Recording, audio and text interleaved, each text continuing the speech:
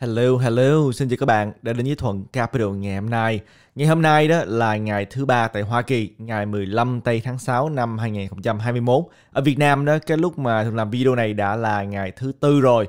Thì bây giờ là khoảng uh, gần 8 giờ tối thì tuần này đó, hôm qua tới hôm nay đó thì công ty cũng khá bận cho nên Thuận cũng uh, làm cái video trễ nhưng mà chúng ta có rất nhiều thông tin thường muốn chia sẻ với các bạn nhất là những gì đã được nói tới trong vòng thời gian là bắt đầu ngày mai đó chúng ta sẽ có cuộc họp liên quan tới Fed, cục dự trữ liên bang của Hoa Kỳ thì những gì đây được nói tới và đây là cuộc họp mà nhiều người cho là rất là quan trọng trong cái đợt họp lần này sẽ nói tới những cái đề tài gì liên quan tới Fed và ảnh hưởng như thế nào đối với tình hình của thị trường. Kế tiếp chúng ta cũng sẽ có một số thông tin liên quan đến Michael Strategy tôi muốn chia sẻ với các bạn liên quan đến cái sự suy nghĩ của Michael Saylor về Ethereum cũng như là chúng ta sẽ nói tới một số những cái thông tin liên quan tới nhiều quốc gia quốc gia nào thích bitcoin, quốc gia nào thích crypto, quốc gia nào không thích. Cũng như là chúng ta sẽ nói tới một số thông tin liên quan đến coinbase.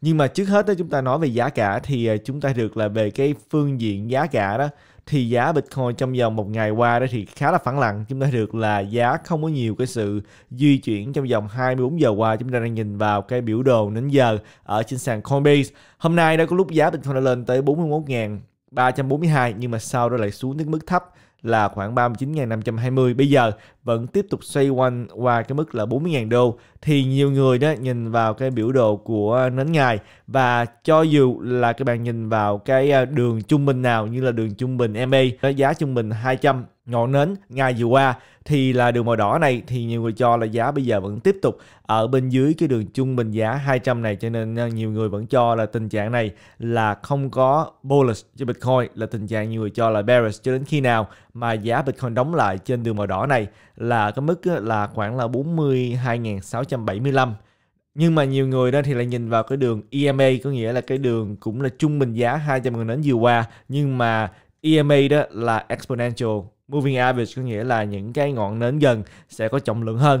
Thì chúng ta được, đây là cái đường màu xanh, các bạn nhìn thấy trên màn hình thì nhiều người cho là ngày hôm nay và ngày hôm qua đó giá cả đã muốn thử lại cái đường trung bình EMA 200 này nhưng mà đã bị đẩy cho xuống cả hai ngày.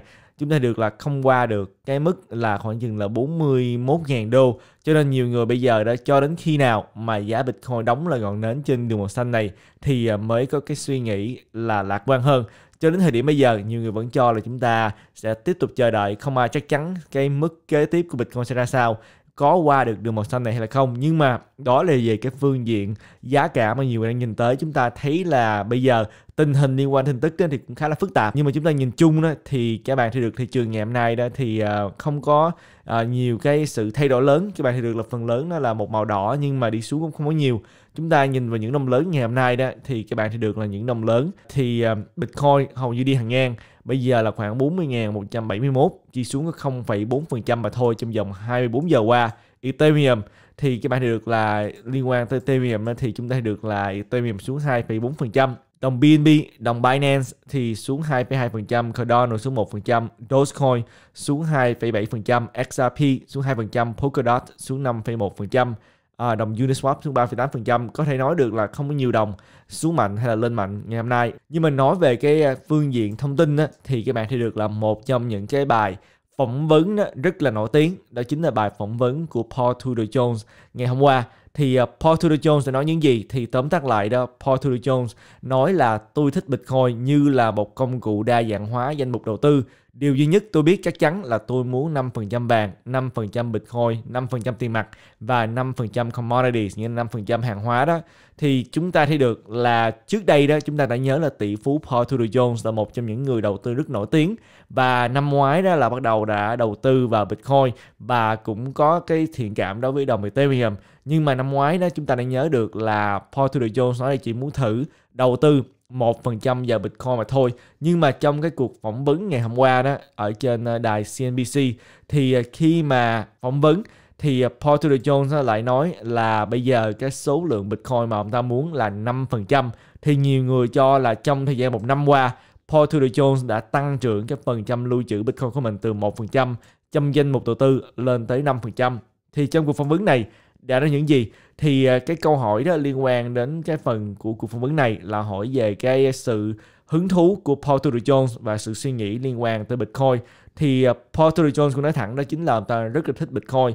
Tại vì đối với ông ta đó, Bitcoin là toán học 2 cộng 2 là 4 bây giờ cũng vậy 100 năm sau cũng vậy 1000 năm sau cũng vậy. Và đối với toán học thì ông ta có thể là dự đoán được tương lai. Giống như là các bạn thấy là Bitcoin, đối với ông ta là cái số lượng Bitcoin ra đời hàng ngày, mỗi một block là bao nhiêu và cái số lượng tối đa là bao nhiêu thì Paul Tudor Jones có thể tính được. Nhưng mà cái mà Paul Tudor Jones không quản lý được, đó chính là cái sự hành động của con người. Có nghĩa là Paul Tudor Jones so sánh cục dự trữ liên bang của năm 2013 với lại cục dự liên bang của năm 2021 thì có gì khác nhau? Hay là Porter Jones nói là chính phủ ở dưới chính quyền của, cựu tổng thống Donald Trump hay là tổng thống Biden bây giờ thì có gì khác nhau? Cái mà ông ta không quản lý được đó chính là con người sẽ làm gì? Làm gì đối với lại cái à, việc in tiền, làm gì đối với lại cái phần trăm lạm phát, làm gì với những cái chính sách tài chính tới đây của quốc gia. Đây là những điều mà Paul Tudor Jones không quản lý được, nhưng mà cái mà ông ta có thể quản lý được đó chính là ông ta chắc chắn là ông ta muốn là một phần tài sản của mình được bảo vệ lỡ như mà chính phủ của Hoa Kỳ đưa ra những quyết định sai lầm liên quan đến tài chính liên quan tới tiền tệ. Cho nên ông ta nói là bây giờ ít nhất là 20% tài sản ông ta muốn lưu trữ là vàng, là Bitcoin, là tiền mặt và commodities có nghĩa là những cái loại hàng hóa. Thì 80% còn lại, câu hỏi kế tiếp là 80% còn lại của Paul Tudor Jones. Thì ông ta muốn làm gì? Thì Paul Tudor Jones nói là điều này thì phải chờ đợi coi coi là cục dự trữ liên bang của Hoa Kỳ sẽ nói gì trong cuộc họp tuần này. Và cái mà Paul Tudor Jones nói đó đó chính là liên quan đến cái cuộc họp bắt đầu ngày mai của Fed. Thì cuộc họp ngày mai của Fed đó, thì ờ, cục dự trữ liên bang của Hoa Kỳ sẽ nói những gì? Thì chúng ta đương nhiên không biết tại vì chưa có xảy ra. Nhưng mà cuộc họp này đó là cuộc họp mà cũng thường lệ là hai ngày. Có nghĩa là ngày mai là ngày ờ, thứ tư tại Hoa Kỳ và ngày thứ năm. Thì trong hai ngày này thì ờ, những gì sẽ được nói tới Fed á, mà người ta chẩn đoán là Fed thứ nhất à, sẽ có thể là nói về cái bước kế tiếp liên quan đến cái việc mà tiếp tục thu mua trái phiếu của thị trường. Các bạn cũng nên nhớ là sau khi mà có dịch bệnh xảy ra đó thì Fed đã làm hai điều lớn. Điều thứ nhất đó chính là giảm lãi suất hai lần liên tục giảm xuống bây giờ là còn 0 tới 0,25%. Đó chính là cái phần trăm lãi suất Fed Fund, cái phần trăm lãi suất mà cho ngân hàng mượn. Và điều thứ nhì đó chính là có những cái à, gói hỗ trợ để mà bơm vào trong thị trường tài chính dùng cái số tiền đó để mà thu mua trái phiếu, thu mua cổ phiếu và bây giờ thời điểm hiện tại đó thì mỗi một tháng đó Fed của Hoa Kỳ vẫn tiếp tục thu mua 120 tỷ đô la trái phiếu mỗi một tháng cho đến khi nào mà Fed cảm thấy là tình hình của thị trường đã ổn định lại, tình hình liên quan tới thất nghiệp đã trở lại như là trước đây, thì lúc đó mới ngưng và bây giờ đó, nhiều người cho là nước Hoa Kỳ đã từ từ mở cửa trở lại. Cái nền kinh tế đã từ từ hộp lại, thì có cái cơ hội là Fed sẽ không tiếp tục thu mua trái phiếu này hay là không? Và khi nào có phải là cuối năm nay hay là đầu năm sau đây là những gì mà nhiều người đang chờ đợi coi là Fed sẽ nói những gì hay là Fed sẽ làm lơ và sẽ tiếp tục dùng số tiền này để mà thu mua trái phiếu trên thị trường. Và điều này sẽ có sức ảnh hưởng đối với thị trường tài chính. Chúng ta sẽ nói thêm một lát nữa nhưng mà điều kế tiếp à, mà Fed có thể nói tới đó chính là liên quan đến à, lạm phát. Chúng ta cũng đã biết là thống kê lạm phát CPI mới đây đã cho thấy được là trong vòng 12 tháng qua phần trăm lạm phát của Hoa Kỳ tính theo CPI có nghĩa là dùng một số những cái ờ, vật dụng và dịch vụ hàng ngày đó trong ờ, một cái nhóm đó tính coi coi trong vòng 12 tháng vừa qua đó thì cái ờ, giá trị của những cái vật đó đã tăng bao nhiêu thì trong thống kê gần đây nhất được chia sẻ đó là trong tháng 5 trong vòng 12 tháng thì chúng ta thấy cái phần trăm lạm phát là 5%. 5% này nhiều người cho là vẫn là một con số mà tính ăn gian, có nghĩa là không có thấp như là cái tính của chính phủ của Hoa Kỳ và nhiều người cho là phần trăm này có thể lên tới là hơn 10%, 12%. Nhưng mà ít ra chúng ta thấy được là cho dù là cái tính 5% này cũng là một cái phần trăm lạm phát cao hơn là Fed có thể chấp nhận được. Các bạn thấy được là Fed thì muốn chấp nhận cái phần trăm lạm phát là khoảng chừng là trung bình 2% mỗi một năm. Nhưng mà bây giờ đó các bạn thấy được là cái phần trăm lạm phát đã thấy là nó tăng trưởng nhiều hơn là Fed hy vọng cho nên chúng ta thấy được là bây giờ đó, Fed sẽ làm gì? Đối diện với phần trăm lạm phát bây giờ đã có mặt, thì Fed có nói về lạm phát hay là không? Có thể đưa ra những cái quyết định như thế nào? Nhất là những quyết định liên quan đến lãi suất. Fed có thể nói tới tăng lãi suất hay là không?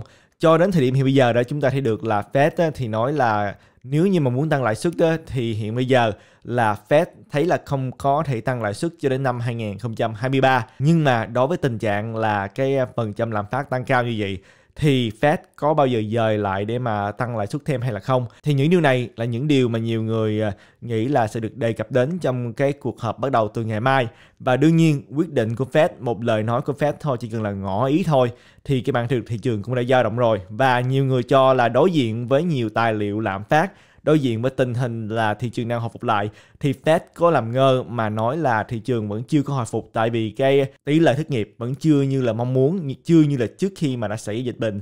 Cho nên Fed sẽ tiếp tục bơm tiền vào trong thị trường mua lại trái phiếu. Và đương nhiên, điều này sẽ làm cho nhiều nhà đầu tư đó càng lo sợ hơn và họ sẽ không muốn giữ tiền mặt, họ sẽ muốn đi tìm kiếm nhiều cái loại tài sản lưu trữ giá trị hơn. Tại vì đương nhiên các bạn thì được là tiền mặt mà nếu như cứ mức giá như vậy thì ờ, uh, các bạn giống như là ngồi ở trên một cái đống băng gì đó mà cái đống băng này từ từ tan ra từ từ tan ra. Đó là lạm phát. Cho nên nhiều người như là Paul Tudor Jones sẽ đi tìm kiếm nhiều loại tài sản hơn để mà lưu trữ giá trị. Ngược lại nếu như mà Fed đã quyết định là sẽ quản lý phần trăm lạm phát thì họ phải có những quyết định như là tăng lãi suất lên. Nhưng mà khi mà tăng lãi suất lên cũng nghĩa là họ sẽ siết chặt cái dòng tiền được đưa vào trong thị trường thì điều này cũng sẽ dẫn đến là thị trường tài chính sẽ có cái à, sự chậm lại về cái phương diện phát triển. Thậm chí nhiều người cho là chúng ta sẽ thấy cái sự xuống giá của những cái à, cổ phiếu ở trên thị trường.